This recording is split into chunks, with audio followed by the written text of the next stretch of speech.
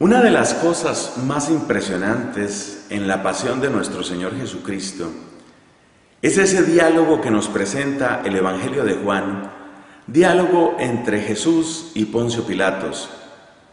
Y digo que es impresionante porque en un momento dado se llega a la cuestión de la verdad y de lo verdadero. Fíjate cómo llega a ser crucial este asunto en materia de justicia. Lo que corresponde a un juez es precisamente establecer la verdad, porque se supone que según la verdad debe también determinarse si la persona es culpable o es inocente. Si es verdaderamente culpable, lo correcto es que reciba castigo. Si en cambio es inocente, lo correcto es que sea absuelto. O sea que la verdad es un asunto absolutamente clave lo que tiene que ver con la justicia. Y se supone que un juez debería tener interés por la verdad. Pero Cristo le dice a Pilatos, todo el que es de la verdad escucha mi voz. Y Pilatos responde, ¿qué es la verdad? Y se retira, no escucha una respuesta no la busca. A Pilatos no le interesa ser verdadero porque le basta ser poderoso.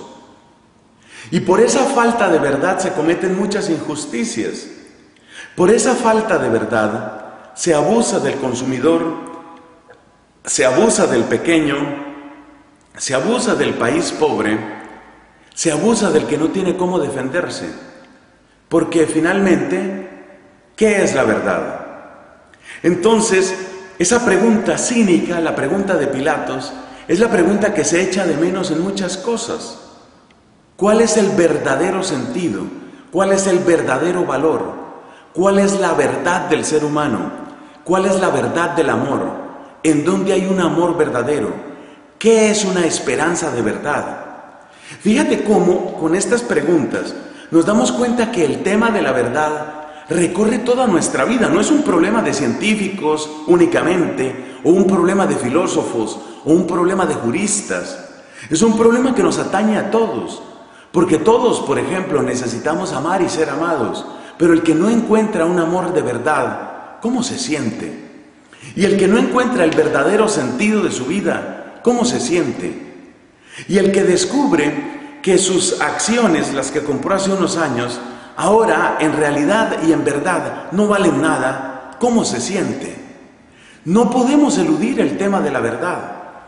Y estoy insistiendo en esto por el Evangelio de hoy, tomado del capítulo sexto de San Mateo, donde Jesús nos recuerda en dónde, en dónde se percibe, en dónde se siente por primera vez, en dónde se escucha por primera vez la voz de la verdad.